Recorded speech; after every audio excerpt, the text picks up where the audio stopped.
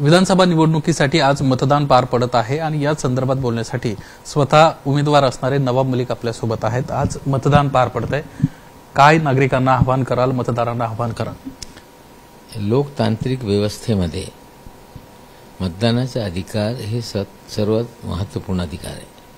तुमच्या भविष्य ठरवण्यासाठी तुमच्या मर्जीचं सरकार आणण्यासाठी तुमचा उमेदवार कसा असावा हे निर्णय घेण्याचा अधिकार लोकांना असते. मी लोकांना विनंती करतो आवाहन करतो की जास्त संख्येने बाहेर पडा स्वतः मतदानाला जा कुटुंबातल्या प्रत्येक माणसाला घेऊन मतदान करा हे मी आव्हान लोकांना करतोय.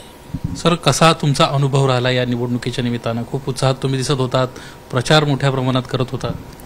निश्चित रूपाने लोकांना बदल त्या मतदारसंघामध्ये अपेक्षित आहे. लोकांनी मला तिथे निमंत्रित करून निवडणूक लढा हे लोकांनी बोलवला होता. बहुसंख्यक लोक माझ्या बाजूनी प्रचारात सहभागी होत होते. प्रत्येक थरातली लोक समर्थन देत होते.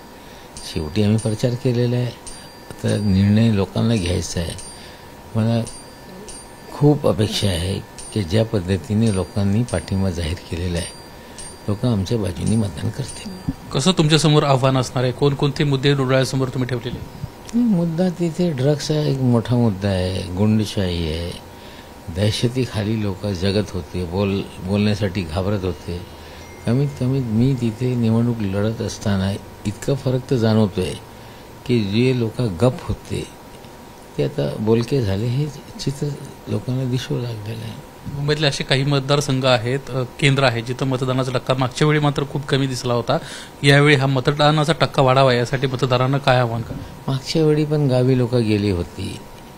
विशेषकर इतर प्रांतीय लोक. त्या काळामध्ये देशभरात निवडणूक असताना त्यांच्या पण गावात निवडणूक असताना तिकडे पण लोक जात आहे. यावेळी छठ पूजेमुळे बरेचसे परप्रांतीय लोक गावी गेले होते. आता विशेष ट्रेन माग साठी मी पत्र लिहिलं होता. त्याचा काही जास्त फरक पडला की नाही लोक किती आले ते बोलता येत नाही.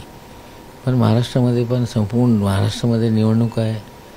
पश्चिम महाराष्ट्रातले कोकणातले लोकांना वाटते की आपल्या गावी पण आपण गेले पाहिजे. तरी मला वाटते मागच्या वेळी जे मतदान झालेलं त्याच्यापेक्षा टक्केवारी जास्त राहणार आहे. धन्यवाद सर आमच्याशी बातचीत केल्याबद्दल. एकंदरीतच यंदा मतदानाचा टक्का वाढेल अशा पद्धतीचा विश्वास नवाब मलिक यांना व्यक्त केला आहे कॅमेरामन रुपेश शेलारसह निलेश बुदावले एबीपी माझा मुंबई. एबीपी माझा. उघडा डोळे बघा नीट.